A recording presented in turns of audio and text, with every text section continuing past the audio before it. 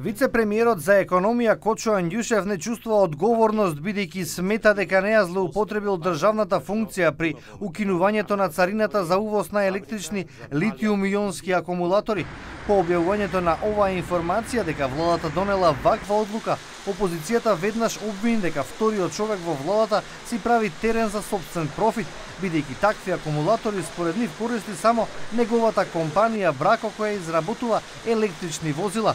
Андјушев уверува дека оваа одлука е само еден од условите за влесна странска компанија во земјава и дека неговата фирма нема никаков интерес од укинувањето на царината.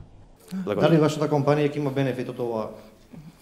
Значи, компанијата а, Брако е како сите други компании во Република Македонија, таа е производител на електрични камиони и во моментот нема да има бенефит бидејќи комплетното производство го извезува.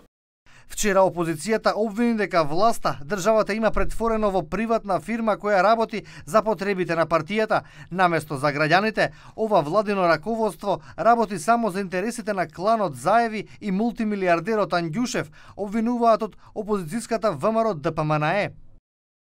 Социјалдемократскиот сојуз се става во функција на портпарол на владата и невешто се обидува да ја правда одлуката на владата за ослободување од царина на акумулаторите, кои во Македонија ги користи само фирмата на Кочо Ангјушев.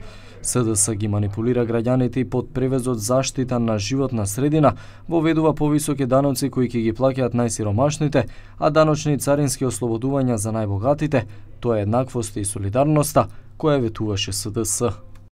Ова не е прв пат вниманието на јавноста да биде насочено кон вице-премиерот Андјушев. Уште пред неговото поставување за подпредседател на владата, избија аферата дека тој имал партнерска фирма регистрирана во Белизе.